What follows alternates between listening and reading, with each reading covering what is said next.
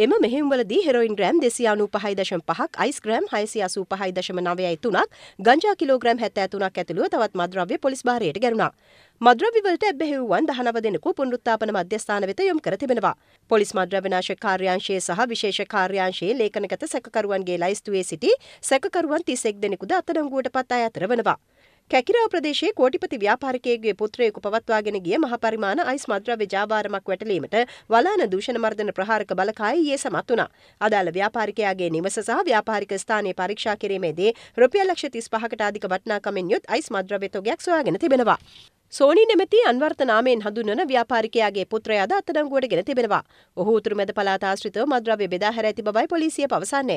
අක්කර පහකට අධික ප්‍රදේශයක ඉතා සූක්ෂමව වගා කර තිබූ ගංජා වගාවක් ඩ්‍රෝන තාක්ෂණයේ භාවිතයෙන් සොයා ගැනීමට පොලිස් විශේෂකාර්ය බලකාය සමත් වුණා. වැටලීම සිදු කර ඇත්තේ කතරගම පොලිස් වසමේ කැබිලිත දකුණ ප්‍රදේශයේදී. අඩි 10ක් පමණ උස ගංජා ගස් 6 ලක්ෂ 50000ක් එහි වගා කර තිබූ බවයි පොලිස් විශේෂකාර්ය බලකාය පවසන්නේ.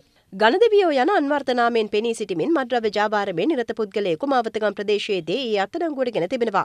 ඒ මාවතගම් පොලිසියේ දූෂණ මර්දන ඒකකයේ නිලධාරීන් විසින් මද්‍රව්‍ය බවට හඳුනාගත නොහැකි ලෙස ප්‍රසිද්ධ සමාගම්වල ලේබල් අලවා පැකට් ලෙස ඒවා අලෙවි කර ඇති බවයි වාර්තා වන්නේ. පැකට්ටුවක් රුපියල් 18000ක මුදලකට අලෙවි කර තිබෙනවා. මේ අතර දොඩම්තලාව ප්‍රදේශයේදී ගංජා සමග දෙදෙනෙකු අත්අඩංගුවට ගැනුණා. ඔවුන් ළඟ තිබී බඳින තුවක්කු තුනක් සහ මද්‍රව්‍ය පෙරීමට භාවිත කරන උපකරණ තොගයක් පොලිස් භාරයට ගැනුණා. සැකකරුවන් තිදෙනා ආරක්ෂිත බන්ධනාගාරගත කෙරුණා. යටියන්තට පොලිසිය සිදු කළ වැටලීම් කිහිපයකදී ව්‍යාජ ලියකියවිලි සහිත රෝදරත්වයක් නීති විරෝධී මත්පැන් විශාල ප්‍රමාණයක් සමග සැකකරුවන් තිදෙනෙකු අත්අඩංගුවට ගෙන තිබෙනවා. යාපනයේ කෝපයි පොලිස් වසමේ කිලෝග්‍රෑම් 71කට අධික කේරළ ගංජා තොගයක් සමග පුද්ගලයෙකු අත්අඩංගුවට ගෙන තිබෙනවා. ඒ යාපනයේ කඳවුරේ විශේෂ කාර්ය බලකා නිලධාරීන් විසින් කෝපයි පොලිස් වසමේ උරුම්බිරාය ප්‍රදේශයේ සිදු කළ වැටලීමකදී ත්‍රෝදරත්වයක් යොදා ගනිමින් ඔහු ජාවාරමේ යෙදුණු පුද්ගලයෙකු බව පොලිස් විශේෂ කාර්ය බලකාය පවසනවා. කොළඹ මරදාන පොලිස් වසමේ සිදු කෙරුණු යුක්තිය මෙහෙයුමේදී සැකකරුවන් 23 දෙනෙකු අත්අඩංගුවට ගෙන තිබෙනවා. අදාළුවම හතරේ සිට උදෑසන 7 දක්වා වැටලීම ක්‍රියාත්මක වුණා.